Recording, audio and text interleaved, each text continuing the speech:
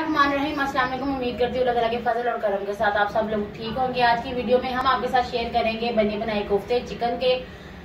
तो मसाला बनाने के लिए हमने कढ़ाई चूल्हे पे रख दी है, उसमें घी शामिल कर लिया है। ज़ीरा थोड़ी देर रोस्ट करते हैं अब हम डालते हैं प्याज।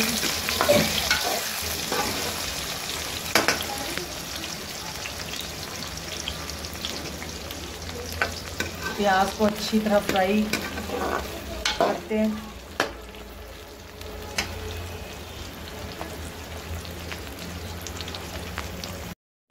प्याज हमारा फ्राई हो चुका है।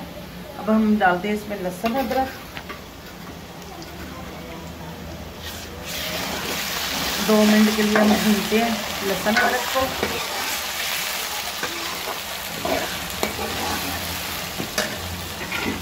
टमाटर और हरी मिर्चें भी हम डाल लेते हैं। अब मसाले को तब तक पकाएँगे जब तक टमाटर अच्छी तरह हमारे भून ना जाए। टमाटर हमारे फ्राई हो रहे हैं।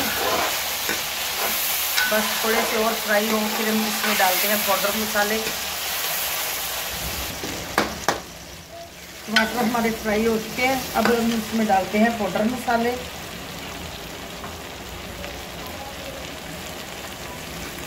नमक आप अपने टेस्ट के हिसाब से डालें। हमने तो अपने टेस्ट के हिसाब से डाला है। आधी चम्मच हल्दी, एक चम्मच सुरख मिर्च।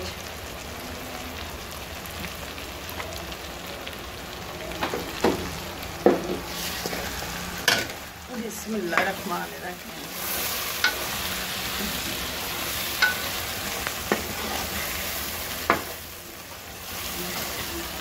थोड़ा सा पानी डालेंगे।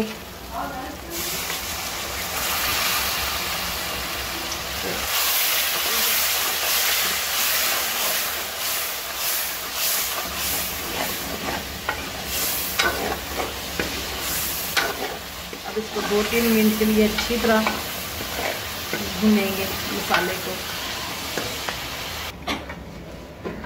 मसाला हमारा भुन चुका है। अब इसमें हम कोफ्ते डालते हैं। ये फ्रोज़न कोफ्ते हैं बाज़ार से बने बनाए मंगवाए हैं।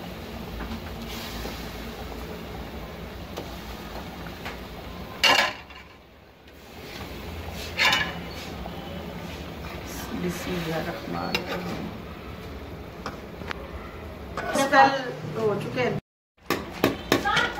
अब हम इसमें डालते हैं आलू। क्योंकि हमने आलू और कोफ्ते बनाने थे। बिस्मिल्लाह रखमान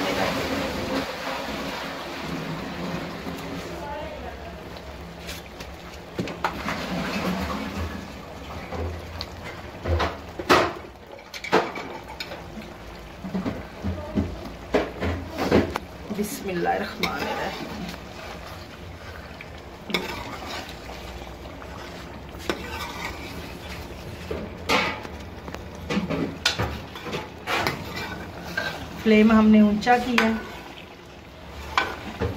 थोड़ी देर के लिए, दो मिनट के लिए भूनेंगे। फिर जितना हमें ज़रूरत है, उतना हमने शोरबा लगा देना है। आलू हमारे भून चुके हैं, अब हमने इसमें लगाना है पानी शोरबे के लिए।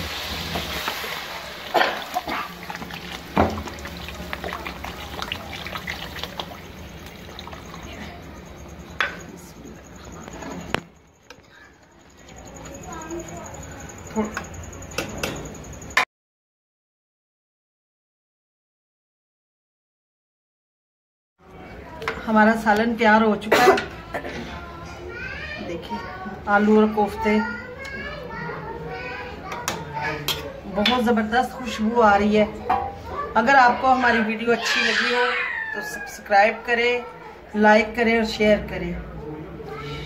शुक्रिया, मेहरबानी। अल्लाह हाफिज़।